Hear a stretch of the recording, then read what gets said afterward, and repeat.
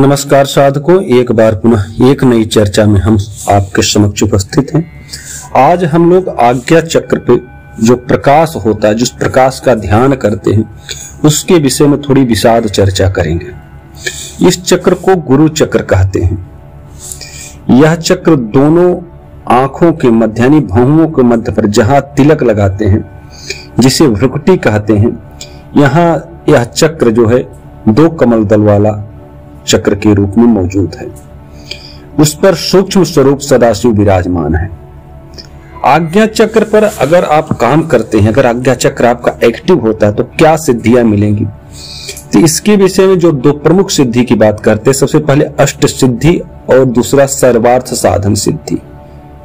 अष्ट सिद्धियाँ जैसे आप सबको पता है अड़िमा गरिमा, लघिमा प्राप्त प्राकम इसित्व वाशित्व ये जो सिद्धियाँ हैं, ये सब आज्ञा चक्र पर ध्यान करने से सुलभता से मिल जाती है। इस चक्र के खुलने पर प्राप्त हो जाती है। ऐसे तो संसार में जितनी भी शक्तियाँ हैं, कहते हैं वो सारी शक्तियाँ आज्ञा चक्र के ही अधीन हैं। चाहे वो प्राप्त हो या अप्राप्त हो, सारी शक्तियाँ जो है आज्ञा चक्र के ही अधीन हैं। इसलिए आज्ञा चक्र पर बहुत ज़्यादा मेहनत करना चाहिए। आज्ञा चक्र आपका एक्टिव हो गया तो आपका जीवन स्वर्गमय बन जाएगा। आप कहीं भी रहोगे तो आप हमेशा स्वर्ग की अनुभूति करोगे। चाहे किसी भी हाल में रहोगे, आप आनंद में रहोगे। तो ध्यान इस शरीर में सबसे पहले कहाँ से प्रारंभ करें? ध्यान योग प्रारंभ करते समय सबसे पहले आज्ञा चक्र पर ध्यान करने को कहा था। गीता में भी ध्यान हमेशा आज्ञा चक्र के ऊपर कहते हैं कि अपने दोनों भावों के मध्य में, यानी कि नासिका के अग्र भाग पर, ये जो सब देखने की बात कहते हैं, यह सब आज्ञा चक्र की बात होती है। यहाँ पर कुंडलनी प्रकाश आने में सुगमता होती। सबसे पहले यह चक्र एक्टिव हो सकता है। सातों चक्र में अगर सबसे जल्दी कोई चक्र एक्टिव हो सकता है तो कहते आज्ञा चक्र। यह आज्ञा चक्र इतना महत्वपूर्ण है, कहते यहाँ पर ईरा पिंगला सुषमना का मध्य यानी कि तीनों नाड़ियों का संगम यहीं से है। जैसे आप सबको पता है कि बाई नाक जो है, जो बाई नाक छिद्र है, जो उससे हवा चलती है, उसे ईड़ा कहते हैं, उसे चंद्र स्वर भी कहते हैं, इसके देवता चंद्रमा है, इसे शीतल स्वर भी कहते हैं, इसके गंगा की धारा भी कहा जाता है। इस चंद्र स्वर का अगर चल रहा है तो ध्यान के लिए अच्छा होता है। जो प्रकाश होता है, वो साफ़ सुथरा दिखाई देता है। दाहिनी नाक जो हवा चलती है, उसे पिंगला कहते हैं, सूर्य स्वर कहते हैं। ध्यान साधारण लगता है, क्योंकि प्रकाश पर लालिमा रहती, स्वच्छ नहीं रहता। इसी यमुना की धारा कहते हैं।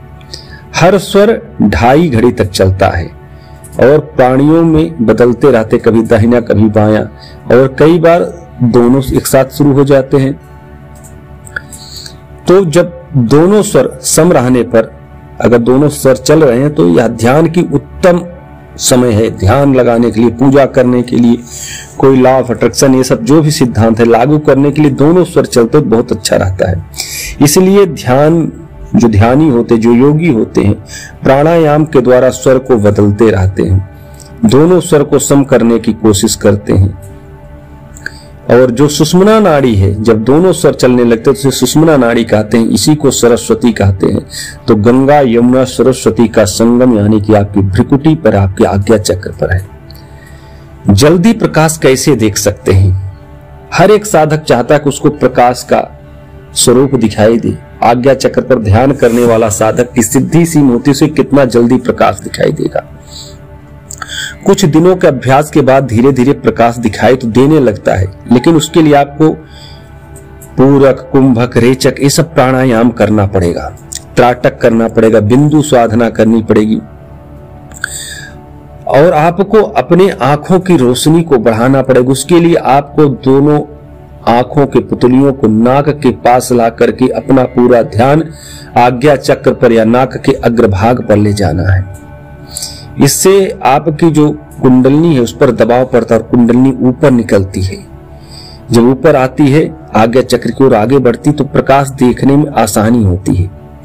हाँ कुछ सावधानियाँ हैं कि आँख दबा करके बहुत ज़्यादा दस पंद्रह मिनट नहीं करना, एक दो मिनट करने के बाद छोड़ देना है, आराम करना है, फिर करना है।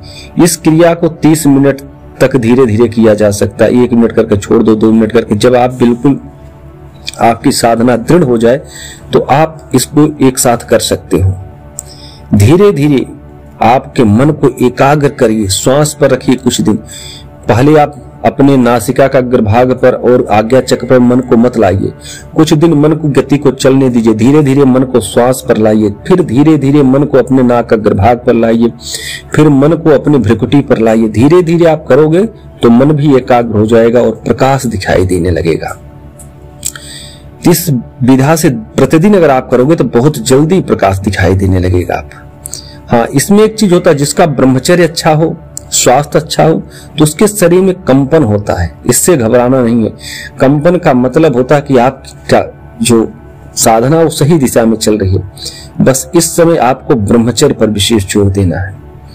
जैसे आपका कंपन हो, देखोगे कि आप दो महीने के अंदर अगर आप लगातार दो घंटा ध्यान करते हैं, एक घंटा, दो घंटा ध्यान करते दो महीने के अंदर आपका आज्ञा चक्र बिल्कुल स्पष्ट तौर पर खुल जाएगा, आपको परम आनंद की प्राप्ति होगी। क्योंकि इस चक्र के खुलने के बाद हंस शरीर से लगाव छूट जाता है और व्यक्ति परम हंस यानी परमात्मा के शरीर के अनुसार परमहंस रूपी शरीर को प्राप्त कर लेता है जो ब्रह्म का स्वरूप होता है। यानी वह ब्रह्म का साक्षात्कार कर लेता है। इसीलिए आज्ञा चक्र पर विशेष ध्यान देने की ज़रूरत है। हमको विश्वास है, यह दिव्य चर्चा आपको पसंद आई होगी। पसंद आई हो तो कृपया कमेंट करके अवश्य बताइएगा। बहुत बहुत धन्यवाद।